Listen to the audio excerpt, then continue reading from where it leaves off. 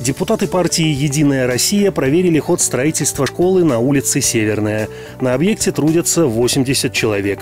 Фундамент выполнен на 98%. Школа будет рассчитана на 825 учеников.